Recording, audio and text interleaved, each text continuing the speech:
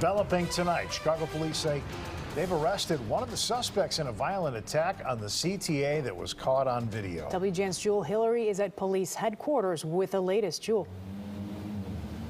Hi, Lourdes and Ray. 30 year old Solomon Washington, who we're told is no stranger to police in Glenwood, a south suburb, is behind bars and charged with several felony counts in connection to not one but two attacks within about 24 hours. Oh On Sunday, September 24th, around 2:45 a.m. on the red line at 95th Street, cell phone video captures two suspects rob this 44-year-old CTA passenger and slam a glass bottle onto his head.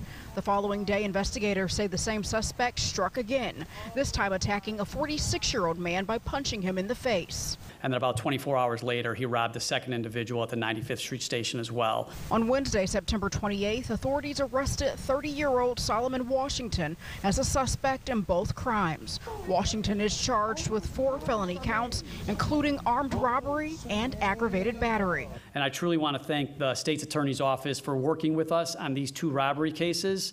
Um, they weren't, I'm not going to go into all the details, but it was not simple in order to secure charges on these cases. CPD Chief of Detectives Brendan Deenihan says catching suspects like Washington wouldn't be possible without help from CTA security. CTA Security does a remarkable job working with our officers and detectives. They constantly comb through video that helps us put out seeking to identify bulletins and other videos, which then we release to the public. While Washington is off the streets, authorities are still looking for another suspect involved in Sunday's early morning attack.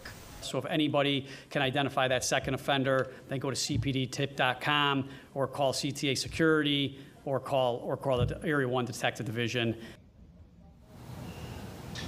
On Friday, Washington is expected to appear in bond court at 26th in California. For now, reporting live from CPD headquarters, I'm Jewel Hillary, WGN News.